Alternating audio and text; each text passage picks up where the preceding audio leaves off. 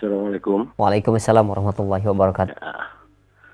Uh, saya menindaklanjuti kemarin mengenai masalah selawat yang pakai sidina. Uh, yang saya tanyakan Pak Ustadz, Nah, selama kita ini kan beribadat kepada Allah SWT kan sudah diperintahkan oleh Allah SWT dan Rasulnya bahwa kalau beribadat kepada Allah SWT itu jangan dikurangi dan jangan ditambahin. Iya, betul. Apa yang diperintahkan ya seperti itu ya seperti itu. Iya, pertanyaannya Pak? Nah, yang pertanyaan saya, mengapa di kalangan masyarakat kita ini pada umumnya uh, menetapkan satu ketentuan hukum bukan dari datanya dari Allah dan Rasulnya mengenai masalah doa kunut. Ya. Yang salah kira-kira siapa? Apa masyarakat kita ini atau ulama kita yang menyampaikan mereka? Bagaimana hukumnya itu Pak Ustadz? Baik, baik. Cukup Pak ya. Dua iya. pertanyaan Pak ya. Terima kasih banyak Pak Bahrudin. Nah terus ada ini satu cukup, lagi. Pak. Cukup Pak, dua pertanyaan aja Pak ya. Nanti berikan kesempatan untuk penanya yang lainnya. Baik, oh, baik, ya. baik, baik, baik. Terima kasih banyak. Ya, baik. Assalamualaikum warahmatullahi wabarakatuh. warahmatullahi wabarakatuh. Uh, masalah mengucapkan sayyidina untuk Rasulullah Shallallahu Alaihi Wasallam. Ya, pendapat yang saya pegang adalah tidak mutlak boleh, tidak mutlak tidak boleh. Dalam lafaz salawat yang Rasul ajarkan, maka kita tidak tambahi sayyidina. Kenapa? Karena mencukupkan dengan apa yang diajarkan, apa disampaikan oleh Rasulullah SAW. Karena itu yang ternyata juga disampaikan oleh para sahabat, para tabi'in, para tabi'ut tabi'in, bahkan yang dicatat oleh para ulama hadis. Mereka tidak berani menambahi di situ sayyidina.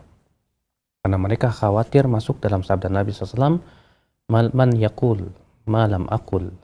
Ya, siapa yang mengucapkan kata-kata yang tidak pernah aku ucapkan, maka hendaklah ia mempersiapkan tempat duduknya dalam api neraka. Namun, ya, ketika kita meng, apa, sedang berkhutbah atau kita berbicara kepada orang dan kita menyebutkan nama Rasulullah, kita ucapkan Sayyiduna, ya, Sayyid, Sayyiduna Muhammad SAW, saya lebih memilih pendapat boleh. Kenapa demikian? ya karena kata Sayyiduna atau kata sayyid itu pernah Rasulullah ucapkan juga. Seperti Rasulullah bersabda, waktu itu ada seorang sahabat ya yang ditandu di atas tanduknya kalau nggak salah Sa'ad bin Mu'ad ya. Lalu ketika dibawa kepada kaumnya Rasulullah bersabda, "Kumu ila sayyidikum." Berdirilah untuk menop, mem, mem, apa, menopang apa menurunkan sayyid kalian itu. Walaupun memang disebutkan dalam riwayat lain Rasulullah SAW tidak suka. Ya disebut dengan sayyiduna. Karena waktu itu Rasulullah SAW datang kepada suatu kaum dan mereka berkata anta sayyiduna wabnu sayyidina. Engkau sayyid kami dan anak dari sayyid kami. Maka Rasulullah SAW bersabda ay sayyid huwallah sayyid hanyalah Allah. Namun dijawab oleh para ulama bahwa ini yang tidak boleh itu adalah memutlakan kata sayyid sebagai sebuah kesempurnaan karena itu hanya milik Allah saja. Iya. Adapun kita menyebutkan bahwa Rasulullah sebagai sayyid dalam artian bahwa ia adalah sayyidnya manusia, itu boleh. Karena Rasulullah sabda, Ana sayyidu waladi Adam. Ya, aku adalah sayyidnya ya anak Adam, kata Rasulullah SAW. Wala. Bukan sebagai sebuah kesombongan ataupun kebanggaan. Kalau sebatas mengatakan sayyiduna, ya, dalam ketika kita berbicara, tidak apa-apa. Namun tentu yang lebih utama adalah Rasulullah karena itu lebih ucapan yang lebih mulia, lebih tinggi. Makanya para sahabat membiasakan diri ya ketika mengucapkan Rasulullah itu Rasulullah dengan ucapan Rasulullah sallallahu alaihi wasallam. Itu yang dibiasakan oleh para sahabat, dibiasakan oleh para tabi'in, para tabi'un tabi'in. Ya, adapun ucapan sayyidina ya maka pada waktu itu jarang diucapkan oleh para sahabat. Maka kita tentu mengikuti petunjuk para sahabat lebih baik. Ya maka dari itu ya kita mengucapkan Rasulullah itu lebih utama atau Nabiullah itu lebih bagus. Ya karena derajat Rasul dan Nabi lebih tinggi daripada derajat Sayyid. Ya derajat Rasul dan Nabi itu lebih tinggi daripada derajat Sayyid. Karena Sayyid itu dalam dalam kalau di, diterjemahkan ke bahasa Indonesia artinya ya seorang tokoh pemuka ya Maka dari itu yang namanya tokoh pemuka itu kan bukan hanya Rasulullah. Aisyah saja kita katakan Sayyidatu Aisyah. Ya, Sayyidah Fatimah.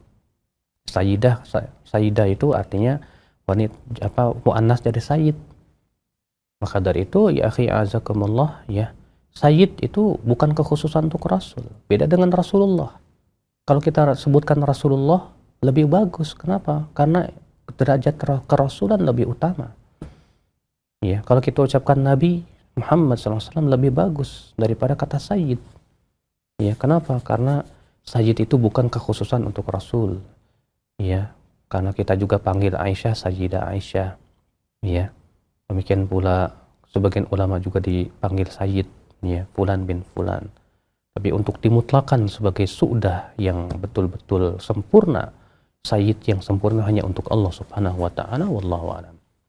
Nah, yang Adapun yang kedua, masalah doa kunut siapa yang salah?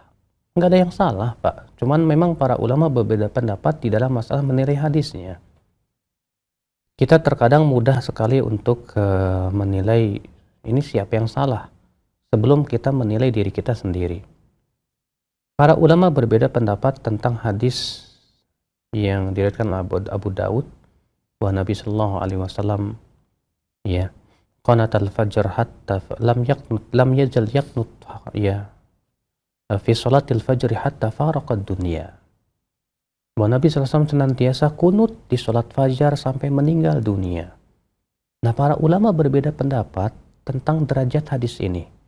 Apakah hadis ini sahih atau tidak? Sebab perselisihan mereka adalah gara-gara seorang perawi hadis dalam sanad tersebut ada yang bernama Abu ja, Abu uh, Abu Abu Ja'far Isa bin Mahan. Di mana Isa bin Mahan ini dianggap thika oleh sebagian ulama dan dianggap taif oleh ulama lain. Di antara ulama yang menthikahkan Yahya bin Ma'in, bahkan gurunya Imam Bukhari, ya yang sangat berwibawa di hadapan Imam Bukhari bernama Ali bin Madini saja menthikahkannya. Ya. Demikian pula beberapa ulama lain. Termasuk Imam Syafi'i pun menganggap thikah Isa bin Mahan ini yang di mana atas dasar itulah Imam Syafi'i mensahihkan hadis tersebut. Ya. Sementara ulama lain seperti Imam Ahmad bin Hambal, Abu Zur'ah, Imam Bukhari, ya, yang itu kemudian dipilih oleh Al-Hafidh Ibnu Hajar Al-Asqalani dalam kitab Taqribut Tahdzib, menyatakan bahwa Isa bin Mahan ini perawi yang lemah hafalannya. Ya. Di mana Ibnu Hajar setelah mengumpulkan perkataan-perkataan para ulama yang banyak tentang Isa bin Mahan ini, beliau menyimpulkan bahwa orang yang menganggap lemah itu mempunyai ilmu yang lebih. Kenapa ini jarhun mufassar?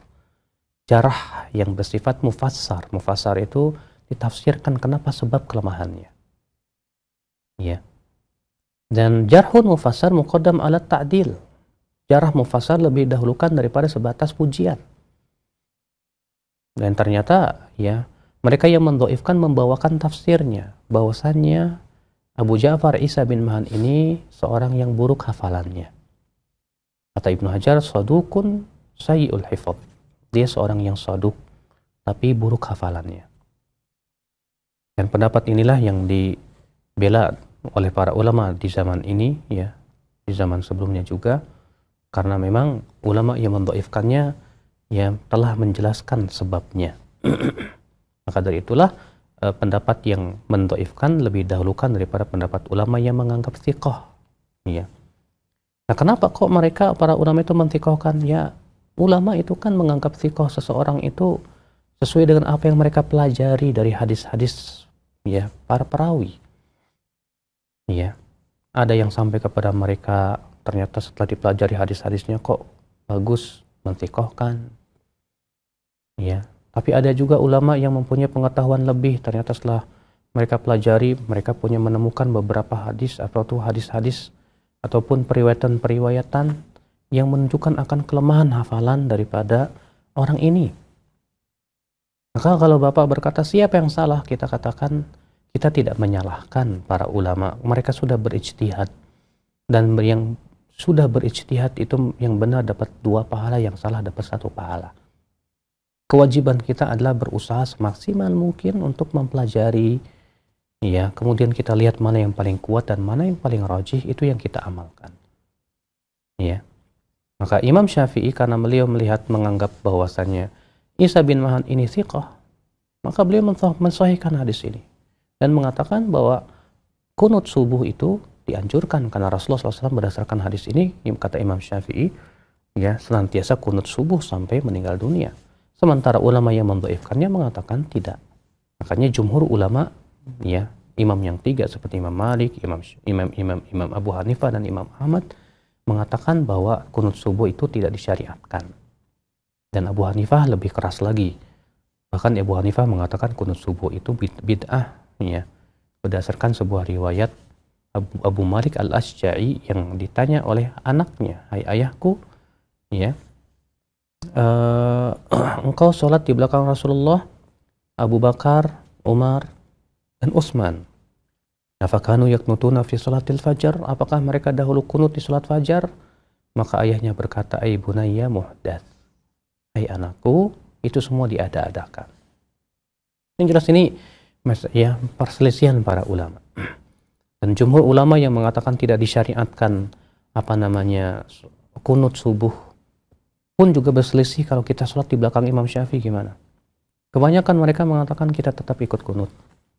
Dan ini yang dipilih oleh Syekh Utsaimin rahimahullah, Syekh bin Bas. Demikian pula ya kalau tidak asal Syekh Albani pun juga mengatakan demikian. Wallahu a'lam. Nah. ya.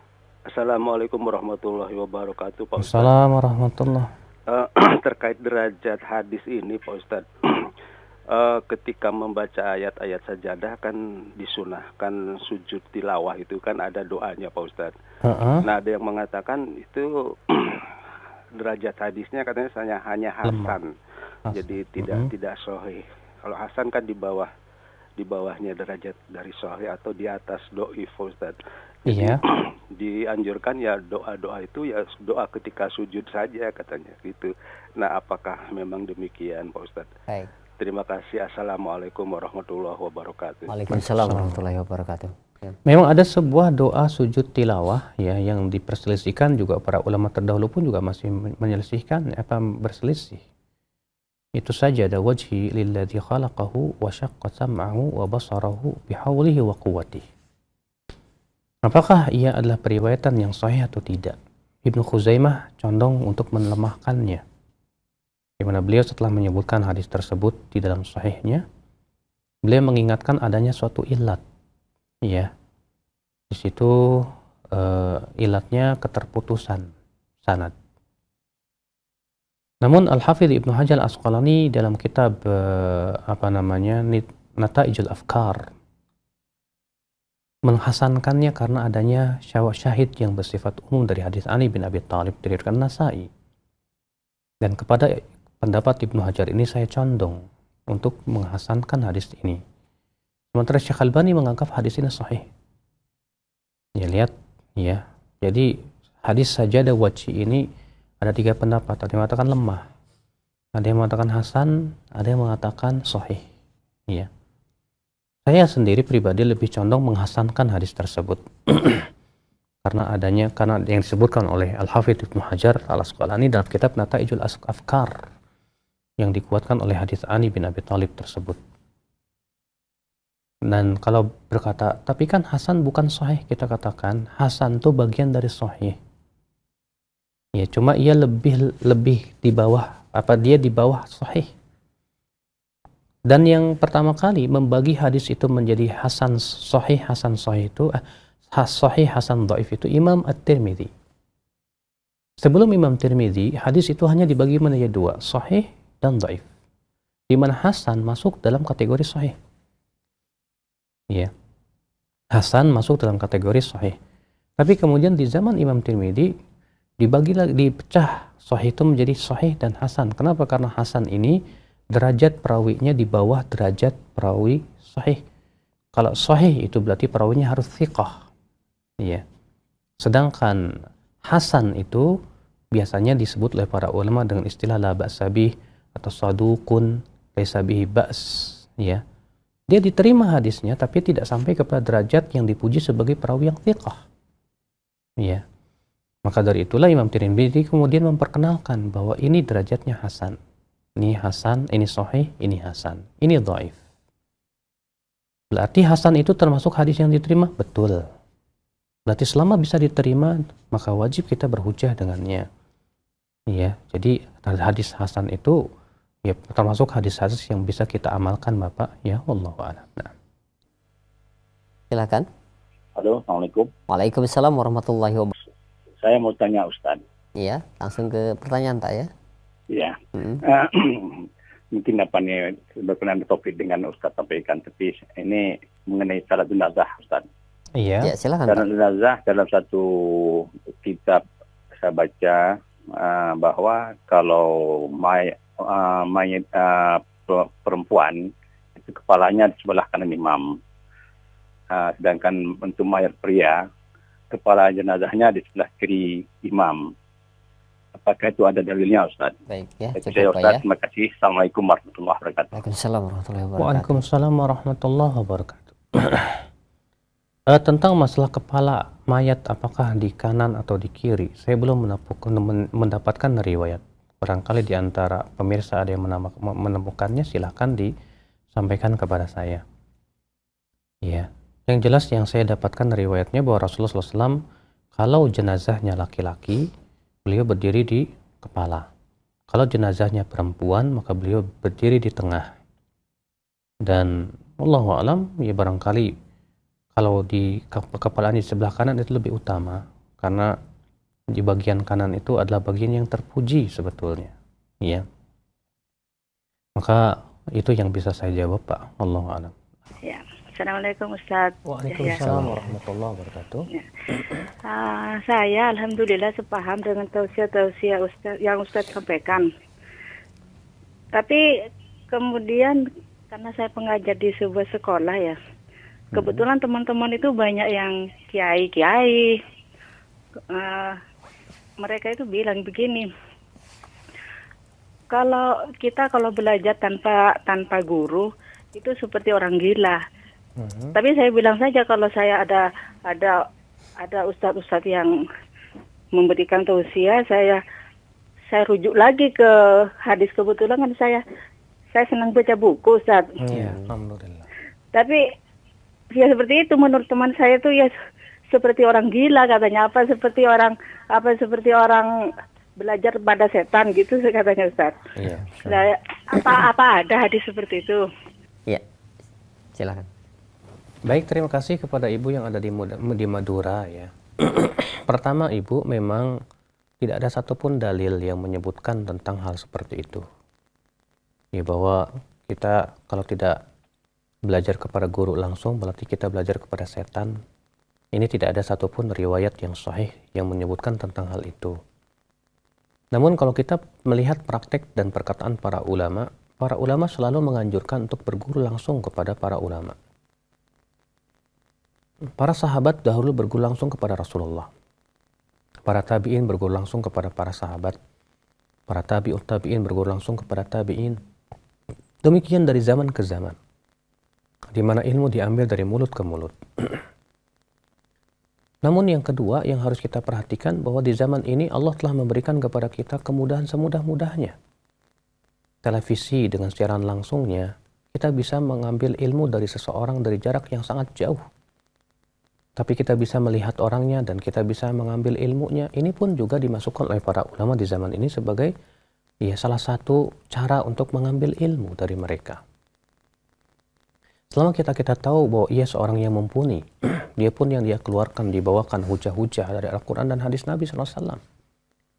Ya, maka kita gunakan fasilitas-fasilitas ilmu yang ada di zaman sekarang. Kalau dahulu Imam Ash-Shawqani saja berkata, di zaman kita, kata Imam Syaukani, Allah memberikan fasilitas ilmu sangat mudah sekali yang tidak ada di zaman sebelum kita. Kalau itu di zaman Imam Ash-Shawqani, bagaimana di zaman sekarang?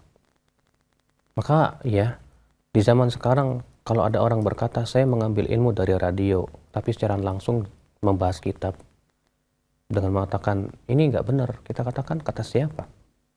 Masalahnya radio, televisi tidak ada di zaman Rasulullah, tidak tidak ada di zaman apa sahabat, tabi'ut tabi'in, tabi'ut tabi'in. Saya yakin kalau itu ada, mereka akan mempergunakan alat-alat ini untuk menuntut ilmu semaksimal mungkin.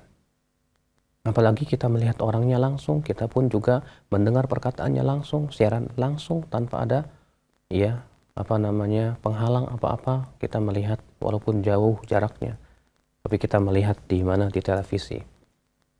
Maka kita gunakan ini sebagai alat untuk menuntut ilmu Allah Subhanahu wa taala.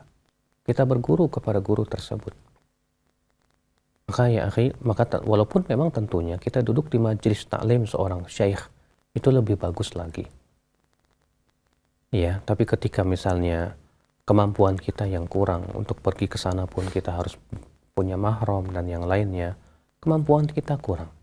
Maka kita gunakan fasilitas yang ada semaksimal mungkin untuk kita terus menggali dan menggali. Kita tidak pedulikan perkataan orang-orang yang berkata guru setan dan yang lainnya. Selama dalil sudah jelas. Ya, dalilnya adalah Al-Quran dan hadis Nabi SAW. Pemahamannya juga dari para ulama. Ya, bujuk buku rujukannya pun juga sudah jelas ada. Maka kalau mereka katakan bahwa kamu itu gurunya setan, ya subhanallah, ya ketika yang kita dapatkan itu al-haq, hujah-hujah dan dalil, mungkinkah setan mengajarkan hal seperti itu? Bukankah setan itu mengajarkan manusia kepada keburukan?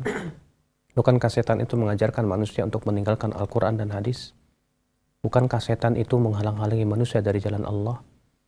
Dan setan paling tidak suka ya seorang hamba itu mau mentadaburi Al-Quran, mau mempelajari hadis Nabi SAW. Bahkan dia, setan ingin sekali manusia itu ke, lari dari Al-Quran dan hadis dan apa yang dipahami oleh para ulama. Nah itulah ibu ya, kita juga merasa aneh justru dengan perkataan mereka ketika kita mendapatkan ilmu ini yang hak. Ya dia katakan ini dari setan. Mungkinkah ya setan mengajarkan Al-Quran, hadis, sementara pemahamannya sudah sangat jelas ya dari para ulama juga. Ya apakah mereka hendak mengatakan bahwa para ulama itu setan juga ya subhanallah. Maka sebetulnya hal seperti itu hanya dijadikan sebagai tameng saja ya untuk menghalang-halangi ibu dari kebenaran. Tapi ibu berusaha untuk tegar terus berjalan di atas kebenaran ya selama ibu melihat itu sesuai dengan dalil, sesuai dengan hujah dan yang disampaikan pun juga jelas tegas ya kaidah-kaidahnya dari para ulama dan pendapat-pendapatnya dan bisa kita rujuk dalam kitab-kitab mereka Allah a'lam. Assalamualaikum warahmatullahi wabarakatuh. Waalaikumsalam warahmatullahi wabarakatuh. Luar tema ya Ustaz ya. Ya, Ini mau tanya Ibu. masalah sholat. Ya. Ini kalau bacaan ruku atau sujud yang bacaannya Subhana Rabbiyal Adimi atau Subhana Rabbiyal A'la kan boleh dibaca sampai uh, lebih dari tiga kali. Iya. Tapi bagaimana kalau dengan bacaan yang selain itu Ustaz, uh, contohnya yang Subhanakallahumma rabbana wa bihamdika maghfirli seterusnya atau subhanadil jabaruti wa maruti itu itu apa cukup sekali apa boleh sampai banyak sebabnya setiap saya lihat di buku itu nggak ada tulisannya yang uh, tiga kali atau berapa itu nggak ada gitu Ustadz mau, iya. mau tanya itu aja Ustadz Baik. Jazakumullah khairan. Wassalamualaikum warahmatullahi wabarakatuh. Waalaikumsalam warahmatullahi wabarakatuh. Uh, Ibu, iya, semua bacaan rukuk maupun sujud kadar yang paling sedikit adalah sekali. Baik subhana rabbiyal a'la wa bihamdi atau subhanakallahumma atau subuhun kudusun yaitu semua adalah kadar yang paling sedikit sekali. Tapi kalau dia mau baca sampai tiga kali, empat kali, lima kali, silahkan. Ya, Adapun pembatasan bahwa paling sedikit tiga kali, ini saya belum mengetahui dalil yang menunjukkan kepada hal itu. Atau paling banyak sepuluh kali, ini pun tidak ada dalilnya. Kenapa? Karena hadis-hadis tersebut mutlak. Rasulullah hanya mengajarkan doa seperti ini, tapi Rasulullah tidak menyebutkan jumlahnya. Dan kaidah yang harus kita pahami, ya bahwa apabila Rasulullah tidak menyebutkan jumlah, berarti kewajiban kita adalah biarkan hadis tersebut sesuai dengan kemutlakannya. Ya, kita tidak boleh menentukan jumlah kecuali dengan dalil. Ya kata para ulama, ya bacaan sekali ini yang paling sedikit. Adapun kalau kita baca ya dua kali, tiga kali silahkan. Tidak ada batasan. Kita mau baca sebanyak-banyaknya ketika kita sholat tahajud misalnya, silahkan. Ya, jadi tidak ada bedanya antara doa ini dengan yang doa yang lain, Ibu, karena semuanya bersifat mutlak dari sisi jumlah wallahu a'lam. Nah. Assalamualaikum. Waalaikumsalam warahmatullahi wabarakatuh. Iya, saya ingin Ustaz. Saya tuh mencintai keponakan, saya Halo? mencintai sekali. Di, di, diangkat ibu suaranya, diperkeras. Iya. Saya tuh mencintai keponakan saya, terlalu mencintai sekali Ustaz. Kenapa bu? Kemudian keponakan saya ini meninggal Ustaz. Apakah saya menangis, tapi selalu membayangkan wajahnya itu termasuk perbuatan waswisu syaitan Ustaz. Iya, itu pertanyaan saya Ustaz. Iya, eh, baik. Ya, eh, ad- dia mempunyai ponakan yang sangat dicintainya dan meninggal. Mungkin eh, nasihat yang perlu disampaikan saat ditinggal orang yang meninggal yang dicintainya. Ah, tentunya ibu. Bila kita mencintai seseorang, berarti kita pun harus siap untuk meninggalkan atau ditinggalkan.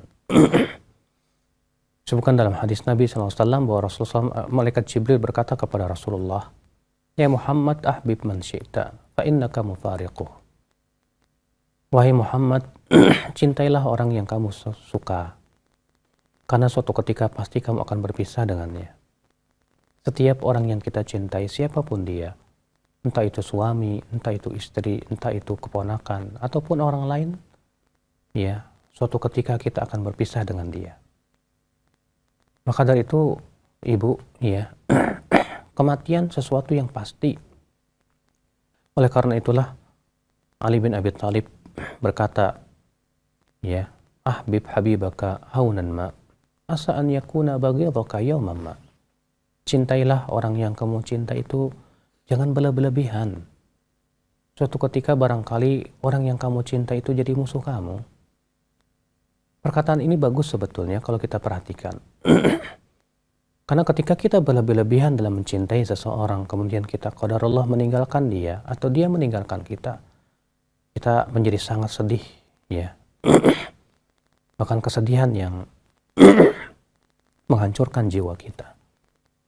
Makanya lah dalam Islam kita dilatih untuk cinta karena Allah, benci karena Allah. Kita mencintai seseorang karena ketakwaan dia, ketaatan dia. Kita pun juga membenci seseorang karena ya kemaksiatan dia kepada Allah Subhanahu wa taala. Semuanya berusaha untuk diikat cinta dan benci itu karena Allah Subhanahu wa taala. Karena ya di saat cinta kita karena Allah maka ketika ia meninggalkan kita pun insya Allah tetap masih ada Allah yang lebih kita cintai. Ya, walaupun memang ya ketika seseorang sangat cinta kepada sesuatu dan sesuatu tersebut meninggalkannya, sering kali membuat kita lupa diri. Hal itu terjadi pada para sahabat Rasulullah SAW ketika ditinggal mati oleh Rasulullah, ya ditinggal meninggal dunia oleh Rasulullah SAW. Ya, ketika Rasulullah meninggal dunia, para sahabat sampai tidak apa sampai lupa. Sampai Umar bin Khattab ya berceramah dan berkata siapa yang mengatakan Muhammad ya Nabi Muhammad SAW itu mati saya akan apa penggal lehernya. Ia hanya pergi sebagaimana perginya Nabi Musa yang akan kembali lagi. Sampai kemudian ya Abu Bakar radhiyallahu an ya dengan kekuatan imannya. Padahal beliau orang yang paling cinta kepada Rasulullah. Tapi subhanallah ya kekuatan iman Abu Bakar yang luar biasa itu berkata man kana ya'budu Muhammadan fa inna Muhammadan qad mat. Wa man kana ya'budu Allah fa inna Allah hayyun la yamut. Siapa yang menyembah Muhammad maka sesungguhnya Muhammad telah meninggal dunia.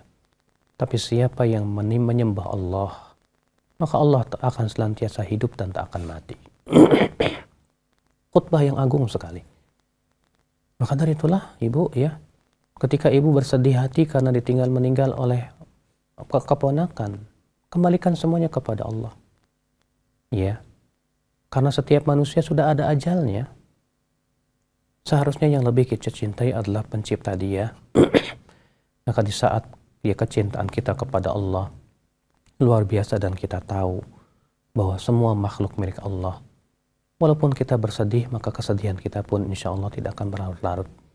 Kesedihan kita pun juga akan segera ya pudar di saat kita ingat ya apa apa namanya bahwasanya Allah sudah mentakdirkan segala sesuatu dan bahwasanya ajal pun sudah ditentukan oleh Allah Subhanahu wa taala.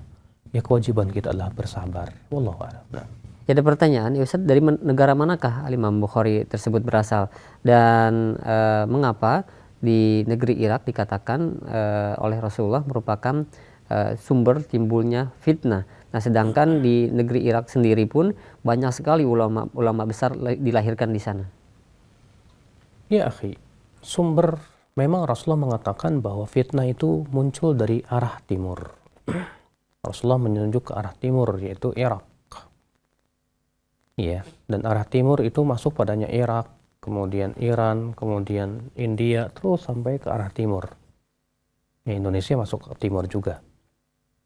Yang jelas, ya apakah bukan apakah berarti karena Rasulullah mengatakan bahwa akan fitnah akan muncul dari arah timur? Artinya arah timur tidak ada kebaikan sama sekali? Tidak demikian tentunya. Ya, bukankah Rasulullah juga mengabarkan bahwa Imam Mahdi nanti akan muncul dari arah timur juga? Ya. Ini tidak menafikan, tidak meniadakan bahwa di arah timur tun, di bagian timur tun banyak ulama. Ya bahkan ketika Rasulullah SAW dalam hadisnya, ketika Rasulullah SAW dalam hadisnya waktu itu ya dengan bersama, apa, berkumpul dengan para sahabat, beliau bersabda apa? Laukanal imanu fi thuraya, kalaulah iman itu ada di langit sana. Lana lahu ahadun min min min haula, yakni Furs wa fi min abna'i Faris. Kalaulah iman itu adanya di langit sana, pasti akan dicapai oleh ya orang-orang Persia. Padahal Persia itu di arah timur. Yang dimaksud di sini itu Salman Al-Farisi. Demikian pula kaumnya. Dan ternyata Rasulullah mengabarkan bahwa dari Persia pun akan ada orang-orang yang membela agama. Dan ternyata benar, Imam Bukhari, Imam Muslim, semuanya dari dari Persia. Ya. Demikian pula yang berasal dari Kufah seperti Imam Sufyan Ats-Tsauri, Syu'bah bin Al-Hajjaj, al, ya. Dan banyak lagi perawi-perawi hadis yang merupakan pembela-pembela agama. Bahkan Imam Ahmad bin Hambal tinggal di, di Baghdad. Itu pun juga di arah timur. Bahkan di waktu zaman dahulu, ya Baghdad, Kufah, Basrah, itu menjadi ya membaul ilm, tempat berkumpulnya ilmu. Walaupun di sana pun juga muncul berbagai macam fitnah. Ya, bahkan pemikiran-pemikiran sesat munculnya dari sana. Ya, baik itu Khawarij, Syiah, pemikiran pula Murji'ah, Qadariyah, Mu'tazilah, semua pemikiran sesat muncul dari arah timur. Jadi, sabda Nabi SAW bahwa fitnah akan muncul dari timur itu bukan menafikan atau mengatakan bahwa timur itu tidak ada kebaikannya, semuanya fitnah, bukan itu maksudnya. Tapi bahwa ya Eh, dari sanalah timbul fitnah. Ya, bukan berarti bahwa timur itu tidak ada kebaikannya sama sekali, tapi justru Rasulullah mengabarkan di sana juga akan ada kebaikan-kebaikan yang akan datang. Seperti Imam Mahdi pun akan ber, apa muncul dari arah timur, ya. Wallahu a'lam. Nah, ini saja subhanakallah bihamdik. Asyhadu an la ilaha illa anta astaghfiruka wa atubu ilaik. Wassalamualaikum warahmatullahi wabarakatuh.